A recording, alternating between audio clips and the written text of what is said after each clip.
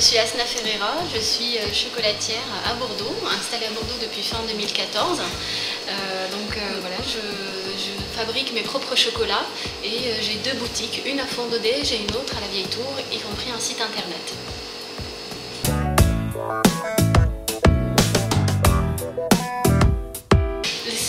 L'amour pour le chocolat a toujours existé.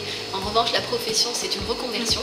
J'ai fait une formation, à 30 ans j'ai commencé à être chocolatière et puis euh, ça se passe très très bien. Nous avons eu beaucoup de succès euh, pour le lancement puisqu'on a un concept un peu inédit. On profite du fait qu'on soit à Bordeaux euh, où il y a cette notion de terroir pour le vin pour expliquer que dans le chocolat c'est la même chose, sachant qu'on travaille avec des chocolats premiers crus de plantation et c'est ce qui nous démarque un petit peu.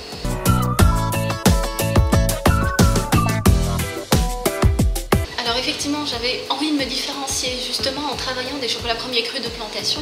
C'est une manière de dire qu'il n'y a pas un seul chocolat qui va être standard, il y en a plusieurs premièrement. Deuxièmement, quand on fabrique par exemple les bonbons au chocolat, si par exemple je fais une ganache grand cru Indonésie, j'ai fait le choix de l'enrober avec le même cru à l'extérieur. C'est ce qui va nous démarquer et même pour les amateurs, ils ressentent cette différence quand on goûte un chocolat. On sent qu'il y a vraiment une différence. Je donne l'exemple euh, d'un cigare.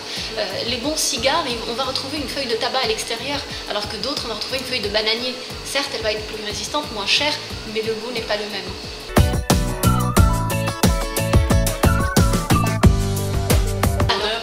L'organisation de la structure, c'est une partie atelier qui est à fond d'Odège, donc on a un petit labo, on est quatre, et puis la vente, euh, on est quatre aussi, donc il y a une boutique à fond d'Odège, une autre rue de la Vieille Tour, et comme je dis, le site internet, il y a une personne qui est polyvalente, qui gère euh, les commandes internet, les envois, et puis les relations avec les professionnels.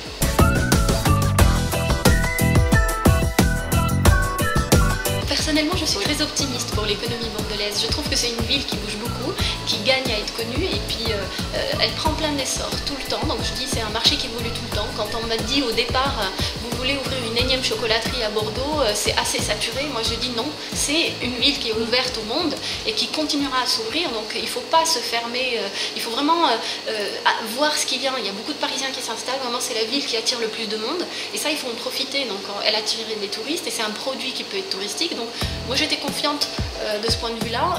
il y a de belles de chocolatiers et ça ne veut pas dire qu'il n'y a pas la place pour d'autres. Hein. Il y a encore la place.